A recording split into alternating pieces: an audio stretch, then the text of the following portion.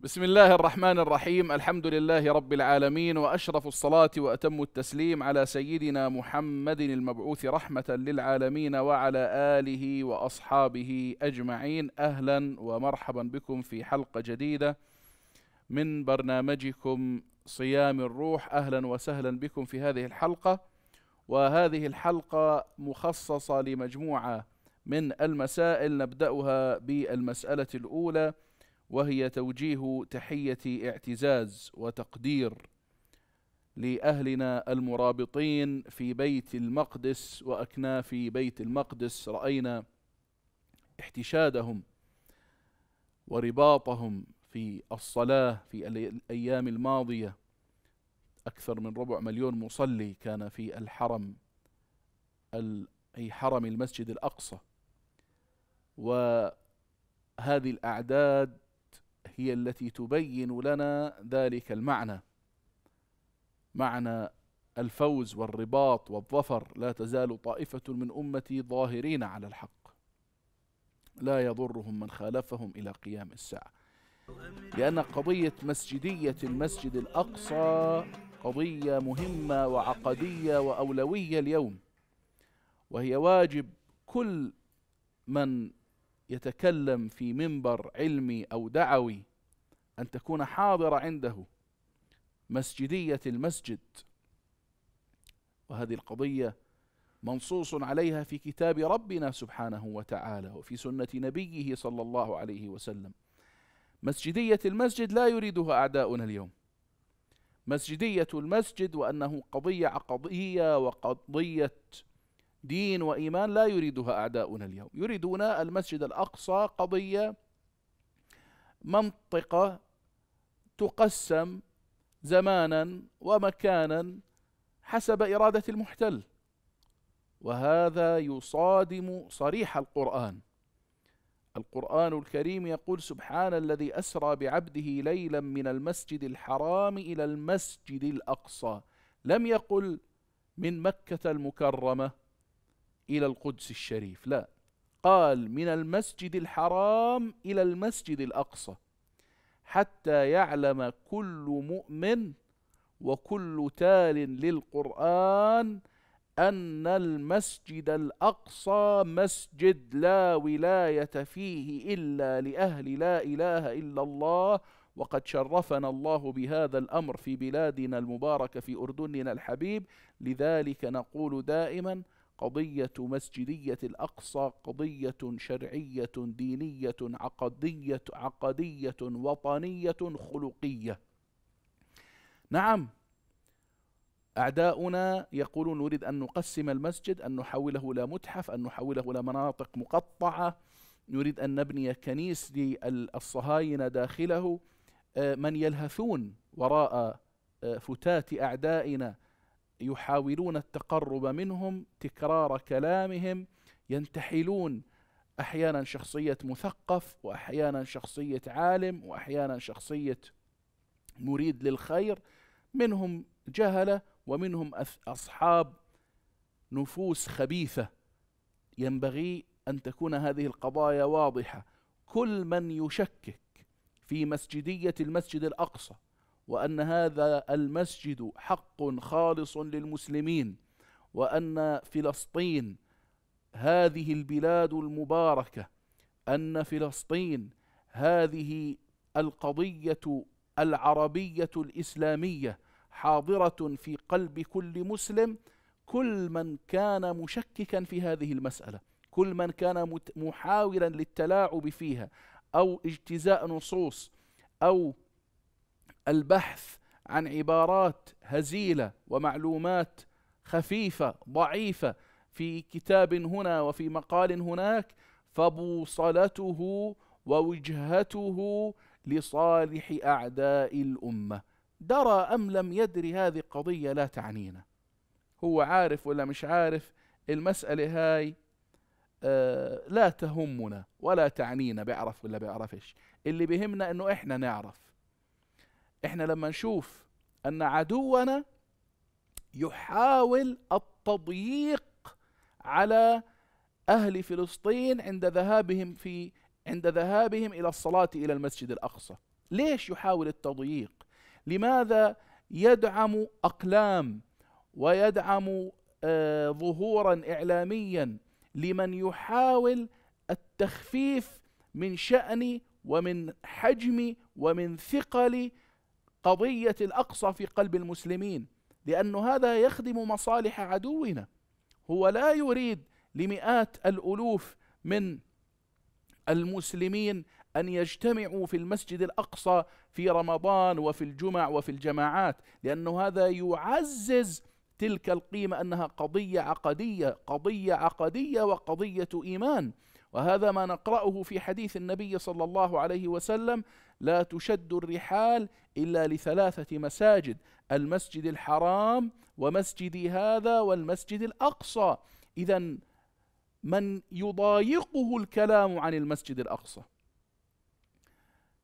من يرهبه الكلام عن المسجد الأقصى. من يتضعضع داخليا لما يسمع كلام ممكن ينحسب عليه عن المسجد الأقصى عليه أن يراجع حساباته. وينظر إلى أولوياته مرة أخرى ويقيم نفسه عندما سيقف بين يدي الله بعيدا عن الكذب وبعيدا عن التحايل وبعيدا عن التذاكي وبعيدا عن تجميل القبيح وعن تزيين الوقاحة وقلة الأدب. عليه أن يعيد قراءة نفسه. اليوم إحنا عندنا في الأردن موقف واضح نتبناه وندافع عنه. عندنا ملك البلاد يقول المسجد الأقصى خط أحمر وهذه قضية كلنا ندافع عنها. من الذي لا يريد لهذه القضية أن تكون حاضرة وأن تكون قضية عقدية وأن يكون موقفنا قويا عزيزا موقفا واحدا؟ هذا هذه إرادة عدونا. لن يأتي عليك عدوك لن يأتي عليك المحتل الغاصب ويجي يعطيك برنامج ديني ويقول لك أنا بصفتي محتل المسجد الأقصى. بدي أجي أقول لك أنه أنت فهمك لحدود المسجد الأقصى خطأ. ولا راح يجي عليك عدوك يتكلم بلسانه يقول لك هنالك حلول مقبولة شرعا لتقسيم المسجد الأقصى. لا سيجعل من يتكلم في هذا الموضوع من أبناء جلدتك حتى يوهمك أو حتى يشغل ذهنك أو حتى يلهيك بملايين الرسائل التافهة السفيهة التي يغرق فيها الإعلام لتنشغل عن قضاياك الكبرى. وكل ما كانت الأمم مجتمعة حول قضاياها الكبرى كانت أمم محصنة وقوية ومنيعة وعدوها بعيد عنها والعكس صحيح. وهذا الذي نتكلم عنه اليوم هؤلاء الأبطال المرابطون المحافظون على حرمات المسجد الأقصى صلاة ودفاعا ومرابطة هؤلاء يدافعون عن كل أهل لا إله إلا الله محمد رسول الله. لأن الأمة إذا تخلت عن ثوابتها وتخلت عن مقدساتها وتخلت عن مسائلها الكبرى هانت وسهل أمر السيطرة عليها والعكس صحيح. فهؤلاء بياض الوجوه حماة المقدسات لهم منا كل الاحترام والحب والتقدير. هؤلاء هم الذين فهموا معاني القرآن الكريم وفهموا سنة المصطفى صلى الله عليه وسلم. جعلنا الله في هذا الركاب الطاهر وفي هذا الميدان المبارك ومن علينا في هذا البلد أن نكون جميعا من الممدين بمدد الله نصرة للأقصى ونصرة لقضايانا الكبرى. إحنا لما نيجي نتكلم عن المسجد الأقصى وعن دور الأردن ونتكلم بفضل الله تعالى أنه عند في في المسجد الأقصى في حرم المسجد الأقصى داخل أسوار المسجد الأقصى في أكثر من ألف موظف يتبعون للمملكة الأردنية الهاشمية. وهذا شيء هذا شيء. إن شاء الله نصلي به محررا مطهرا بعز عزيز أو بذل ذليل. ومن أراد أن يحارب دين الله أنفه بالتراب. من أراد أن يحارب كلمة الله لا قيمة له ولا وزن له ولا احترام له ولا مجاملة له. من أراد أن يحارب مسجد النبي صلى الله عليه وسلم من أراد أن يحارب مسر النبي صلى الله عليه وسلم هو توأم مسجد النبي صلى الله عليه وسلم. من أراد أن يحارب مسر النبي صلى الله عليه وسلم ومن حيث عرج إلى السماء فهذا مهزوم مكسور. هذا لا اعتبار ولا قيمة ولا احترام لرأيه وفكره عندما يريد أن يدلس ويغش. ولقد سبقت كلمتنا لعبادنا المرسلين. إنهم لهم المنصورون وإن جندنا لهم الغالبون. لما أحرق المحتل منبر صلاح الدين وأعيد بناؤه في هذا البلد المبارك وركز في قبلة المسجد أعيد بناؤه على نفس الطرز ونفس الشكل وسمي بنفس الاسم بمنبر صلاح الدين. هذه لها رسالة عندنا إحنا نريد أن نوجهها أن هذا المنبر وهذا الطريق وهذه الراية نحن نسير إثرها وعلى طريقها لنا آباء ولنا سلف ولنا راية ولنا منهج ولنا طريق نسير عليه حتى نصل بإذن الله تعالى. ولا يضرنا كيد الكائدين ولا تفه التافهين ولا حسد الحاسدين ولا يؤثر علينا ولا على عقيدتنا ولا على فكرنا ولا على هويتنا في هذا البلد المبارك. وكأمة كأمة لا إله إلا الله محمد رسول الله لا تؤثر تلك السهام المسمومة. قرآننا ينطق ويبين إلى المسجد الأقصى الذي باركنا حوله.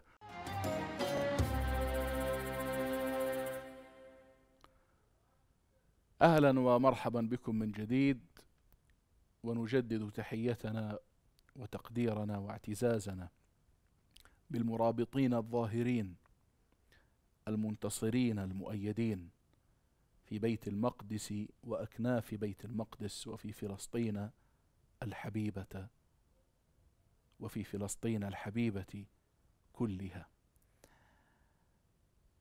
كنا نتكلم عن مسألة خطيرة وهي مسألة أن يكون الإنسان بوق لأعدائه وهو لا يعلم أو وهو يعلم. لكن إحنا بنتكلم عن الذي يظن نفسه على خير. لأن الإنسان يحاول أن يؤول لنفسه أحيانا. في مقياس. قيس نفسك عليه.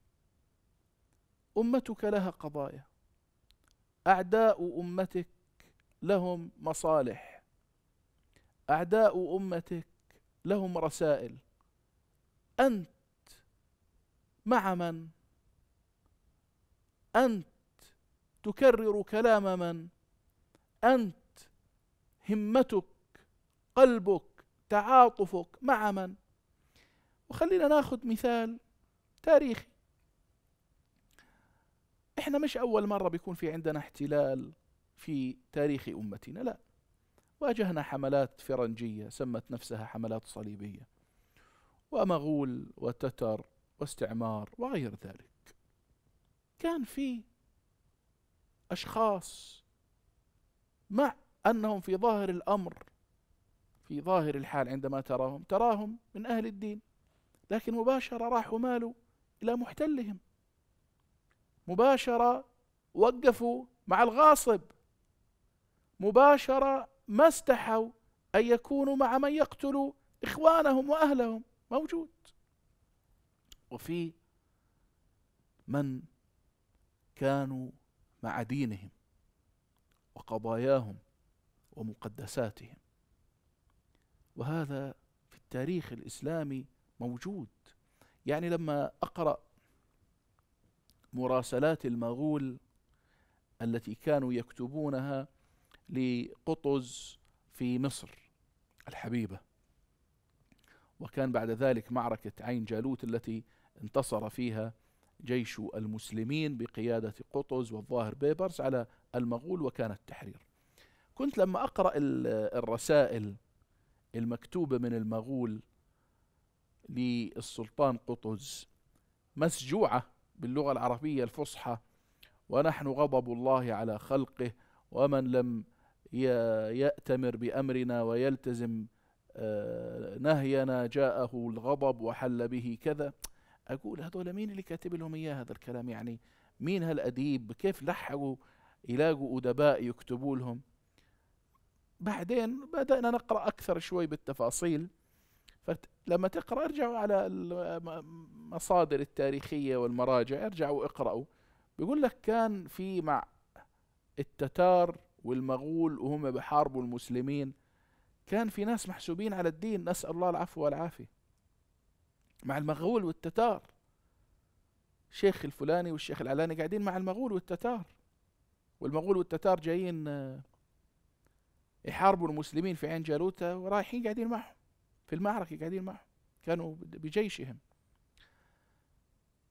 جايين يحاربوا المسلمين. وأنا أروح أنا أروح مع جيش المغول وجيش التتار وأقعد مع جيش المغول والتتار وأكتب كتب لجيش المغول وجيش التتار وأدلهم على المسلمين. ما الذي أريده؟ ما الذي أنتظره؟ نسأل الله العفو والعافية. هذا التلبيس اللي بنتكلم عنه. وهذا ما نقرأه في قول الحق سبحانه وتعالى فلولا كان من القرون من قبلكم أولو بقية ينهون عن الفساد في الأرض إلا قليلا ممن أنجينا منهم. ثم تكمل الآية واتبع الذين ظلموا ما أترفوا فيه وكانوا مجرمين. هذا المعنى الذي تبينه لنا الآية الكريمة واتبع الذين ظلموا ما أترفوا فيه وكانوا مجرمين. هذا المعنى وهذا الوصف هو الذي يحلل لنا ويبين لنا سبب موالاة بعض أبناء هذه الأمة لأعداء الأمة. ركن إلى هؤلاء ومال إليهم وأصبح منهم وأصبح معينا لهم على حساب دينه وأمته وأبناء جلدته وهويته لأنه رضي بلعاعة من الدنيا فبدأ يؤول لنفسه ويفتي لنفسه ويبحث عن تخريجات ويبحث عن تأويلات ولكن هذا كله مفضوح أمام طفل صغير لو نظر إليك. يقول لك ليش هيك سوى بحاله؟ نسأل الله العفو والعافية. اللهم عافنا واعف عنا وعافنا مما ابتليت به هؤلاء واتبع الذين ظلموا ما أترفوا فيه وكانوا مجرمين. طبعا هذا الأمر ما كان يخفى على العلماء. فنجد العز بن عبد السلام رضي الله عنه وأرضاه كان يواجه أمثال هؤلاء. لما يصيروا يتأولوا ويقولوا هم هذولا كيف بدنا نوقف وجههم وشو الحكمة وشو المش حكمة وتزيين المصطلحات ويعني من باب من باب الفهم ومن باب الدقة ومن باب المصلحة. خلينا نتخلى عن مقدساتنا ونتخلى عن أقصانا ونتخلى عن قرآننا وعن سنة نبينا. فكان الإمام العز بن عبد السلام رضي الله عنه سلطان العلماء يقول لهم يا علماء الدين يا ملح البلد كيف يكون الحال إذا الملح فسد؟ إذا أنت فسدت وصرت تلهث وراء قضاياك ومصالحك ورصيدك وبسطك وكيفك على حساب دين الله. يا علماء الدين يا ملح البلد كيف يكون الحال إذا الملح فسد؟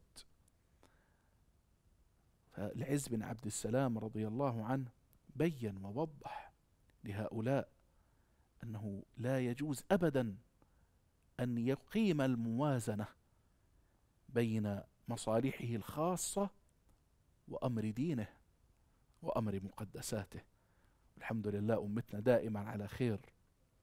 لذلك هؤلاء الذين نتكلم عنهم أصحاب هذه الأقلام المأجورة والآراء المسمومة غثاء والله غثاء كغثاء السيل قد ما يدفعوا قد ما ينفقوا أنت لما تطلع الآن وتسأل تجد هذه القضية بفضل الله تعالى في أردننا الحبيب قيادة وشعبا في كل بيت وفي كل مسجد وفي كل جامعة تجد هذه القضية الحاضرة في مساجدنا في خطبنا في إعلامنا في فتاوانا عند أئمتنا تجد القضية الكبرى الحاضرة دليل على إيه؟ دليل أن محاولات أعدائنا إلى زوال وأنها غثاء وهباء ولا وزن لها لكن لابد من التحذير حتى نقوم بدورنا لأن التاريخ يسجل. يعني أضرب لكم مثال مما يسجله التاريخ. إحنا بنتكلم دائما عن الغزوات وعن عفوا الاحتلال وعن الاستعمار وعن ما عاشته هذه الأمة. فمن الاحتلال الذي تعارضت له هذه الأمة الاحتلال من الحملات الفرنجية التي سمت نفسها حملات صليبية بالأربعمية والخمسمية هجري. فالتاريخ بيسجل لنا يسجل لنا التاريخ شكلين مختلفين لحال العلماء. بعضهم اشتغلوا ببعض وإنت كذا وإنت كذا وأنا لا أستبعد ابدا أنه كثير من هؤلاء من حيث يدري ولا يدري كان تابع للصليبيين فكرا ومادة علم أم لم يعلم. هذا موجود. وحال آخر مثل الإمام الجويني والإمام الغزالي والإمام الجنيد والإمام الجيلاني والإمام ابن الجوزي والإمام الكاساني والإمام ابن العربي هؤلاء الأئمة كانوا قادة فكر لنصر الأمة. قادة فكر لنصر الأمة لنهضة الأمة لقوة الأمة. يعني التاريخ يسجل صفحتين. لذلك يجب أن يكون الإنسان حريصا أن يكون حاضرا في صفحة عز ونصر وقوة ومدد حتى نصلي في مقدساتنا محررة مطهرة بإذن الله تعالى وأن لا نتنكب الطريق طريق الصالحين طريق أهل الله. لا نتنكبه أبدا وأن نسير سيرهم. أن نكون دائما نرى المسألة بوضوح قضايا مقدساتنا وأقصانا وفلسطين الحبيبة. هذه قضية عقدية نقرأها في كتاب ربنا سبحانه وتعالى سبحان الذي أسرى بعبده ليلا من المسجد الحرام إلى المسجد الأقصى الذي باركنا حوله. وهذه قضية وطنية. هذه قضية ملك البلاد يقول المسجد الأقصى خط أحمر غير قابل للتقسيم. قضية وطنية وقضية خلقية وعز الله هذا هذا البلد المبارك بها ونسأل الله أن يعزنا بها وأن يمدنا وأن يقوينا وأن يجعلنا سلما لأوليائه حربا على أعدائه نوالي من والى ونعادي من عادى. وهذه قضية لا مجاملة فيها. ما فيش والله الحق يمكن أن يكون مع أحد الطرفين. لا. هذه القضايا من القطعيات ثبوتا ودلالة. قضية المقدسات ومسجدية المسجد الأقصى ولا ولاية ولا وصاية فيه وعنده وعليه إلا لأهل لا إله إلا الله وشرفنا الله بهذا البلد بهذا الأمر. وقضية تحريره والصلاة به محررا مطهرا هذه قضية كبرى نسأل الله أن يعزنا ويكرمنا بها. في الختام نصلي ونسلم على سيدنا رسول الله صلى الله عليه وسلم ونقول رب اغفر لي ولوالدي رب ارحمهما كما ربياني صغيرا ولوالدينا جميعا ومشايخنا وعلمائنا وأزواجنا وذرياتنا وأصحاب الحقوق علينا ولكل من له يد مباركة في هذا العمل ولكل الدعاة إلى الله والحمد لله رب العالمين.